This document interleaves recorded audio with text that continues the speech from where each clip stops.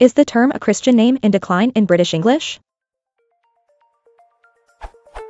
I learned most of my British English as a lad of 13 in 1968 to 69 and one of 20 in 1975 to 76, during which academic years I lived in Sussex.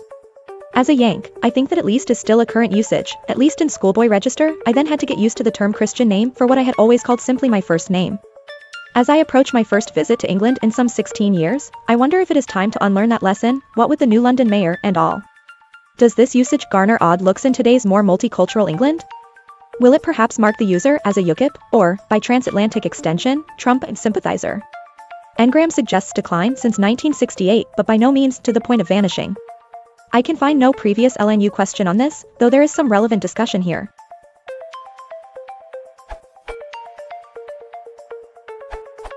I'm a Brit in my late 40s, so heading towards that bah, in my day, old fogey demographic that you mention, or perish the thought.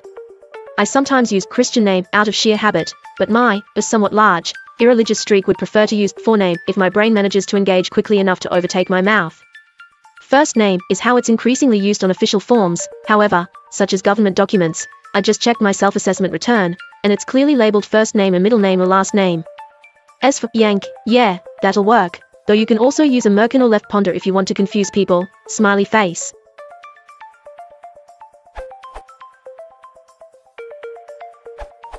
The decrease in usage of the expression Christian name may be a reflection of the cultural changes that happen through time. It, however, didn't necessarily refer to religion, according to the following extract. Traditionally, a Christian name or baptismal name is a personal name given on the occasion of Christian baptism, with the ubiquity of infant baptism in medieval Christendom.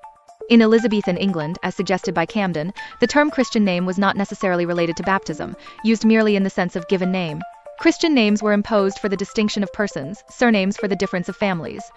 In more modern times, the terms have been used interchangeably with given name, first name and forename in traditionally Christian countries, and are still common in day-to-day -day use, although today the secular term first name is considerably the most common.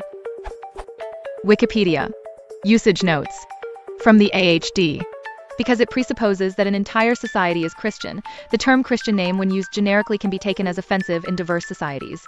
Writers seeking a way to avoid this problem can use first name or forename instead. From the Collins Dictionary.